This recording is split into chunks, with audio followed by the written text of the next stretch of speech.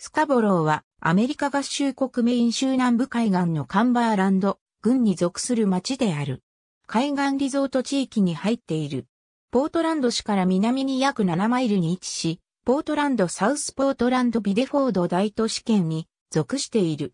2010年の国勢調査では人口18,919人だった。スカボローとなった地域はアベナ貴族インディアンが多くの草が生える場所を意味するオアスコーグと呼んでいた。大きな潮沼があったことによっていた。1630年頃、ジョン・ストラットンがスカボロー海岸沖のソコー湾にあるストラットン島に交易基地を開いた。1631年、ニューイングランドのプリマスカウンシルが、ウォリック伯爵の甥であるトマス・カモック船長に、ブラックポイント特許を与えた。1635年、コモックは1500エーカーの土地に一軒の家を建て、住み始めた。その土地は、スパーウィンク側からブラックポイントまで広がっており、今日ではプロタスネックと呼ばれている。しかし、カモックはその領地を売却して、西インド諸島に移っていった。それでもブラックポイント、ブルーポイント、ダンスタン、ストラットン島で開拓地が発展した。1650年までに50軒の家があった。この町は漁業や農業に適していた。1658年7月14日、マサチューセッツ植民地議会がこの町をスカボローとして法人化した。その名はイングランドのヨークシャー州スカーブラから取られた。1675年にフィリップ王戦争が起きた時、スカボローは100軒以上の家屋と1000頭の牛がいる重要な海岸開拓地だった。1676年までに戦争の結果として町は被害を受け、開拓者の中にはインディアンに殺された者もおれば、人質になった者もいた。その後の1677年、マサチューセッツが同盟インディアンを伴った兵士を送り、町に再度入植できるようにした。1677年6月29日、策略として送られたインディアンをこの兵士の部隊が追求している間にスカンド州長の指揮する戦士たちに待ち伏せされた。100名近くいたニューイングランド民兵隊の中で、50ないし60名が殺されるか致命傷を負った。この被害者の中には、ベンジャミン・スウェット隊員もいた。この戦闘は、ムーアズブルックの戦いと呼ばれ、軍事的に悲惨な敗北になった。1681年、ブラックポイントに大きな砦が建設された。ウィリアム王戦争の時にゲリラの侵入の間に何度か再建が試みられた後に生き残った者たちは1690年に脱出し、南のニューハンプシャーのポーツマス、あるいはボストンに移動した。1699年、マサチューセッツ湾植民地と東部インディアンの間に休戦が成立した。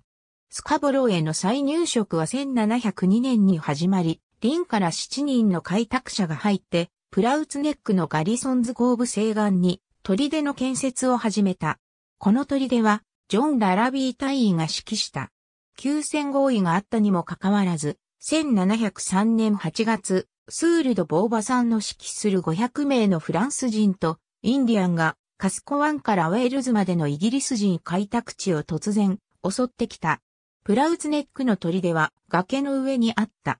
フランス人とインディアンが到着した時、張り出した崖によって放火でから守られていた。その後崖の下にトンネルを掘って砦を破ろうとした。二日間土砂降りの雨が降って川岸をぬかるみにし、以前は隠されていた掘削作業者が砦の狙撃兵から見えるようにならなければ、フランスインディアン連合軍は砦ダッシュと中の8人の捕獲に成功していたかもしれない。しかし、ボーバさんはより容易な餌食を求めて退却した。その後もインディアンから時折嫌がらせがあったものの、2回目の開拓は成功した。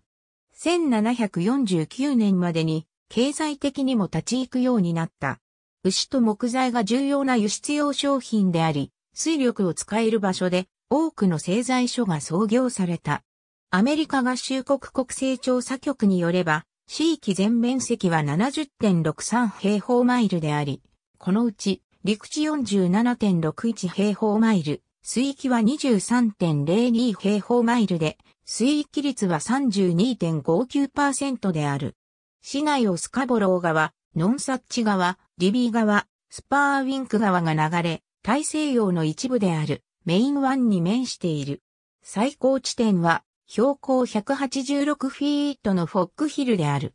スカボローの開拓初期に標高144フィートのスコットーヒルで焚き火が焚かれ、周辺地域に危険の到来を警告した。市内を週間高速道路95号線、道295号線、アメリカ国道1号線、さらに修道9号線、77号線、114号線、207号線が通っている。